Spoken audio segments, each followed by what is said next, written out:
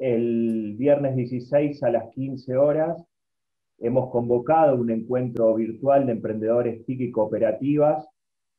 en el marco de un programa que hemos diseñado por decisión política de nuestro presidente del organismo, Claudio Ambrosini, con el objetivo de poder llegar eh, a cada provincia con las herramientas que tiene el ENACOM para garantizar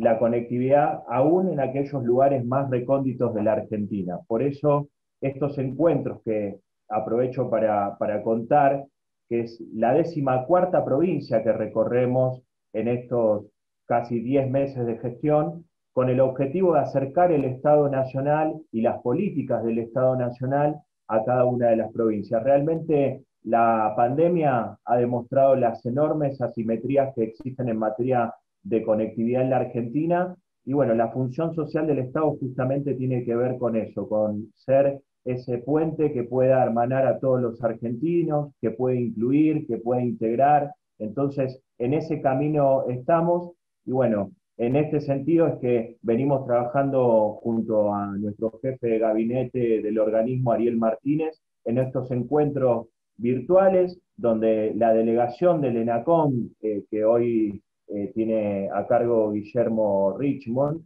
digamos, en La Pampa,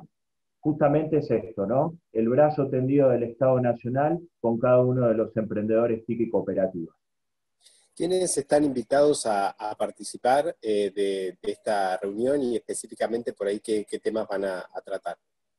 Están invitados todos los em, em, emprendedores, pymes y cooperativas de La Pampa, con el objetivo justamente de que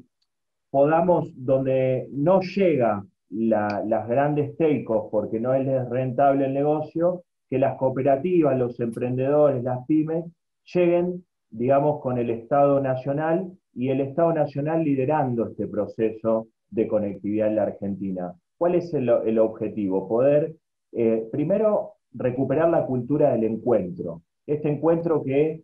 nos hace poder,